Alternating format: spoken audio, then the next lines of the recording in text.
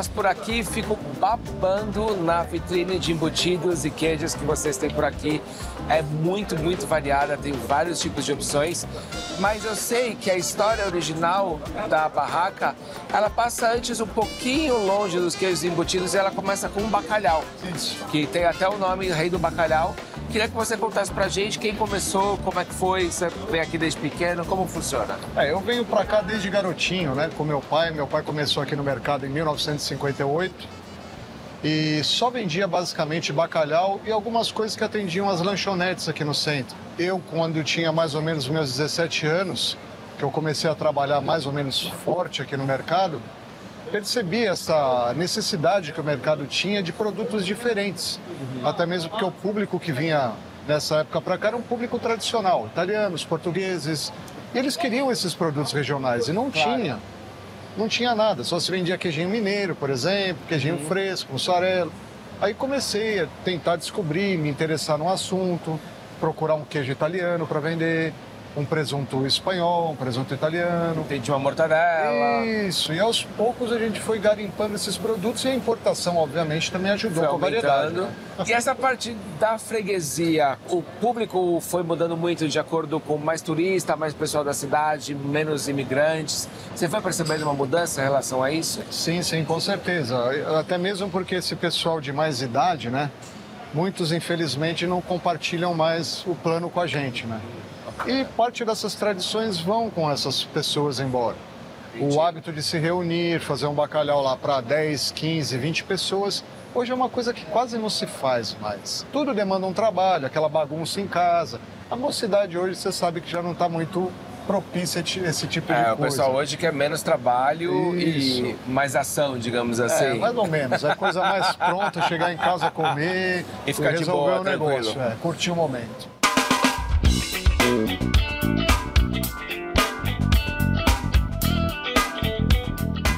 Agora, que eu já tô de cara aqui pra ela, já tô olhando essa maravilha de geladeira. É. Eu queria que você me ajudasse a escolher uns queijos pra gente fazer uma tábua bem bonita, porque tem um outro amigo meu que tá chegando aí, você vai gostar de conhecer ele também. Você me ajuda? Com certeza, vamos lá. Então vamos nessa, gente. Vamos lá conhecer.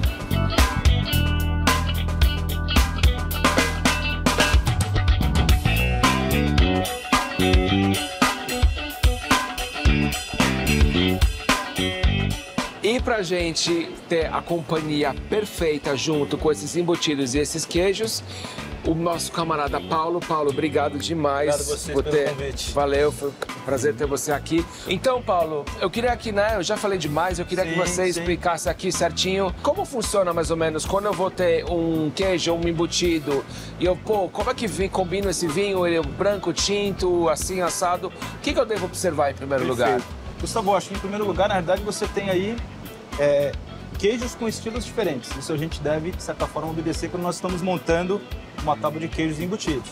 Então você tem uma escala de sabores né, na parte que diz respeito aos queijos. É, via de regra, normalmente os vinhos brancos costumam harmonizar melhor com os queijos, principalmente. Porque ele tem mais acidez e o queijo tem mais gordura. Exato. Aí a gente sempre faz esse contraste entre a acidez do queijo né, com a acidez do vinho. Então, um queijo com uma acidez mais alta exige também que você tenha um vinho com a mesma acidez. Certo, No caso dos embutidos, essa ciência já é um pouco mais complicada, porque normalmente os queijos eles não têm uma estrutura suficiente para os embutidos, mas a gente consegue fazer às vezes algumas é, sugestões que costumam funcionar bem. Certo. Então a gente vai poder fazer algumas experiências aqui hoje para comprovar se isso na prática Funciona funciona ou não. Ou não, claro. Bom, o papo tá muito bom, mas bora começar. Vamos. Qual é o primeiro vinho que a gente vai degustar? Pelo Riesling, pelo, pelo Sauvignon Blanc. Isso. Perfeito. Perfeito.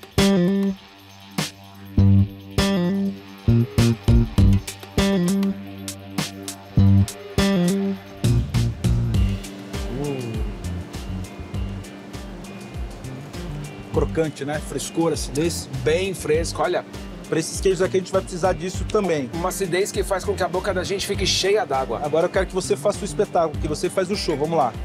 Vamos começar então pelo Bom, a gente vai começar aqui pelo brie. Correto. É um queijo de casca de mofo branco, bem, bem suave. Sim. O miolo bem cremoso, também bem denso. É um queijo de leite de, ca- de vaca, perdão. E a gente vai cortar ele com essa Linda faca que representa tão bem o espírito do mercadão. Olha só. Obrigado.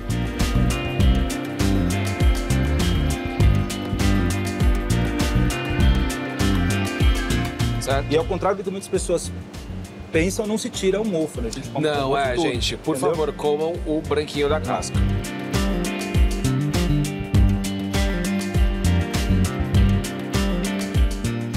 Nossa.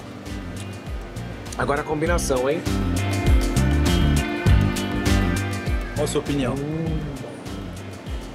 Ficou bom, né? Ficou incrível. Ficou incrível. Na realidade, o, o- o queijo ele tem uma textura, ele tem uma textura, não, um paladar é levemente terroso.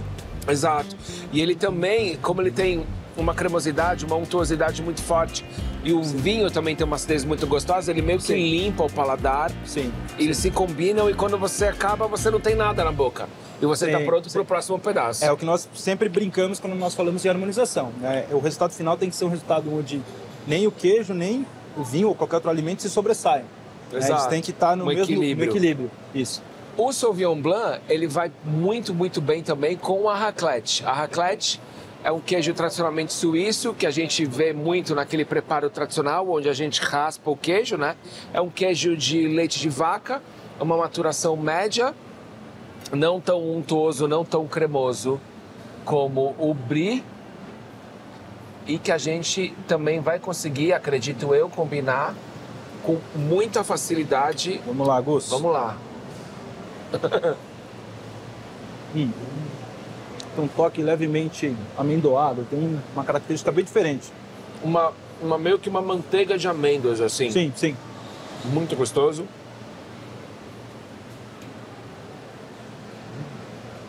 Arriscaria dizer que ficou tão bom Tão ou melhor bom do que o primeiro. Eu achei mais Né? gostoso também. Pelo fato do queijo ser um pouquinho mais curado, Sim. um pouquinho mais firme, parece que o sabor dele desenvolve um pouco mais. E o queijo é levemente adocicado. Gus. Exatamente. Então ele conseguiu realçar isso. Então ficou perfeito. Agora a gente vai passar na sequência para um queijo de cabra Perfeito. curado. Um Bacana. queijo dinamarquês maravilhoso. Vamos cortar um pedacinho aqui. Vamos lá. Vamos lá. Vou atacar esse aqui, você pega esse aí do meio. Perfeito. Aí, pronto. Mais uma vez. Hum, nossa. Meio floral. Um pouquinho mais de acidez. Né? A gente pode esquecer que uma das harmonizações clássicas com Sauvignon Blanc é com queijo de cabra. Hum, é mesmo. Então acho que, que vai dar match também.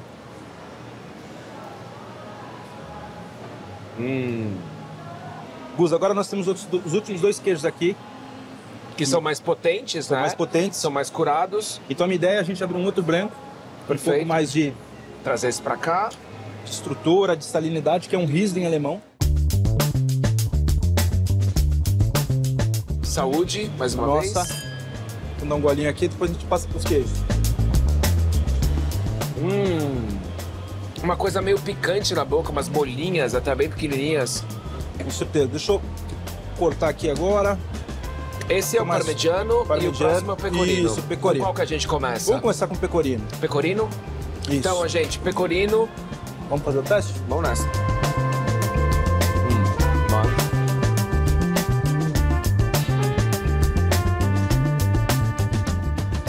Queijo é extremamente salgado Muito.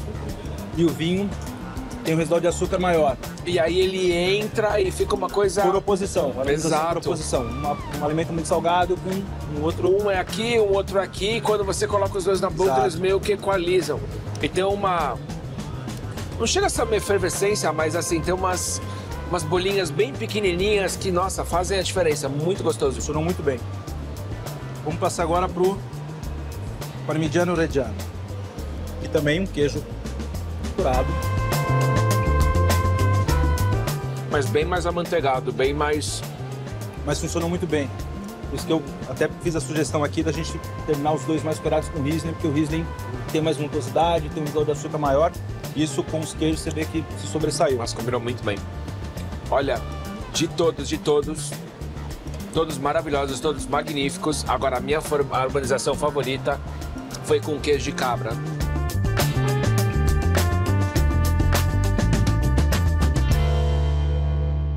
passando agora para os tintos. Temos aqui duas belas opções. Paulo, o que, que a gente tem aqui? Vamos começar então com o Beaujolais, vinho mais versátil quando nós falamos em charcuterie, e é o que a gente vai fazer agora. Vinho francês produzido com Vogamère. Então, um Beaujolais aqui, Pode E- atacar já? pode atacar, vamos lá. Vamos entender o porquê que esse vinho é tão versátil. Nossa, cheiro de cereja, assim, muito forte. Saúde, mais uma vez. Nossa, fruta nós. pura. Vamos Nossa, é pura fruta, pura, pura, pura, pura. Então vamos começar aqui. Vamos fazer uma, uma, uma Nossa escala de Senhora. complexidade e de delicadeza. Vamos começar primeiro então com a mortadela. Nossa, Vamos lá? tô, tô pirando ainda no vinho. A cerejinha do amor o negócio, é muito bom. Vamos lá. Vamos pegar começando agora. aqui. Mortadela. pequena. Eu não vou na pequena, não. Eu vou na fatia grande mesmo. A gente já conhece, né? Nosso país, ela é rei. super delicada.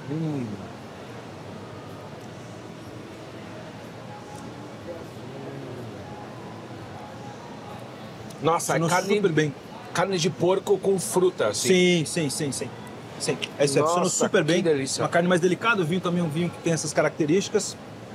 Estou curioso para entender agora como é que vai funcionar o salame aqui. No meio, porque o salame é um pouquinho mais gorduroso. Sim, sim.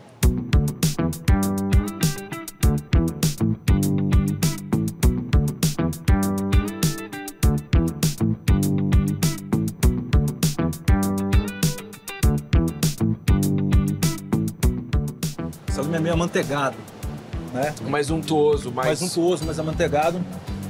Só que por outro Nossa. lado, o vinho tem bastante frescor, tem uma boa acidez. E Então ele dá uma limpada. Sim, sim. A mortadela, eu prefiro com a mortadela, não que o salame tenha ficado ruim. É, eu gostei também. Eu acho que foi mais sutil, Mais delicado, foi mais mais delicado. delicado. Agora vamos passar então pro, pro, pro pata negra. Pro próximo. Esse eu tô curioso para saber como é que ele vai se comportar Nossa aqui. hein? peguei um pedacinho já com uma gordurinha extra que eu gosto. Também bem suave o sabor, Sim. no mas mesmo mais, patamar. mas com uma gordura muito mais doce. vamos Exato. dizer. Vamos ver. Nossa, que delícia.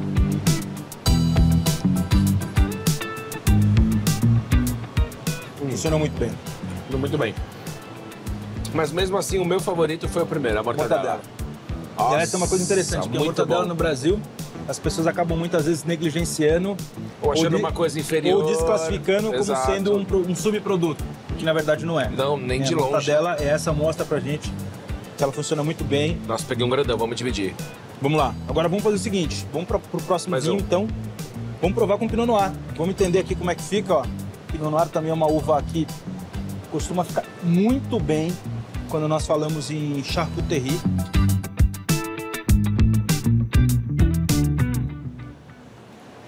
O cheiro é completamente diferente. Diferente. Hum, Mais estrutura, já tem mais corpo. mais corpo. Sim, sim. Você provou com a mortadela? Não, ainda não. Vamos lá. Nunca é demais provar a mortadela. Nossa senhora.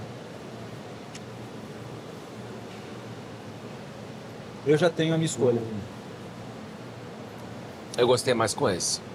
Eu gostei mais com Beaujolais. Perfeito. Então a gente sabe por que, que ele consegue ter essa versatilidade. Vamos passar então pro Presunto. Salame. Salame. salame. Vamos lá. Bem untuoso, bem rico. Eu acho que com esse vai caminhar bem. Enquanto você estava falando, eu estava fazendo aqui a harmonização. Na verdade, assim, esse vinho ele tem uma característica que além de ser uma especiaria, você tem uma parte vegetal. E aqui nós temos essa, essa pimenta que também nos leva a essa parte de especiarias. Então, com o Pinot Noir, o salame ficou muito bom. Mais interessante do que com o Beaujolais. Mas, exato, eu também achei. Porque aqui tem muita fruta e aqui tem mais, mais Exato, especiaria, mais exato, tempero. exato. Então, com a carne de porco. Exato, exato. Agora vamos gostoso. passar aqui para o nosso pata negra. Esse vai combinar mais do que esse segundo, do que o Beaujolais. Características distintas, né? Hum. O Pinot Noir ele tem mais peso, né? Mas acho que a mortadela com o Beaujolais para mim É, a portadela Foi com o Beaujolais é show, é campeão.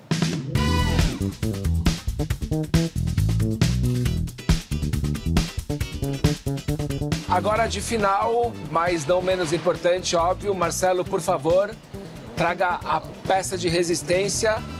Marcelo fez uma aqui, ó. Linda pra gente, mas que ele vai servir com uma coisa que é extremamente especial. Marcelo, o que é isso, em Isso aqui suas é mãos? Mel trufado. Nossa senhora, então pode derrubar. Geralmente é como a gente serve os nossos clientes aqui, ó. É uma experiência interessante. Nossa, com certeza. A gente pode provar essa experiência super interessante. Tá aqui pra vocês, por com favor. certeza. Vamos todos provar juntos, cada um pega um pedacinho. Marcelo, por favor, pega um pedacinho com a gente. Então, com esse mel trufado e essa harmonização maravilhosa, eu queria agradecer. Muito obrigado, gente. Foi um prazer compartilhar com vocês esses momentos. Paulo, muito obrigado. Obrigado, Augusto. Marcelo, muito obrigado. Em breve ele vai ganhar uma tacinha também. E até o próximo lá no Mercadão. São cinco horas, eles vão baixar a chave, mas eles vão encontrar a gente aqui até amanhã. Um abraço, gente. Saúde. Saúde. Saúde.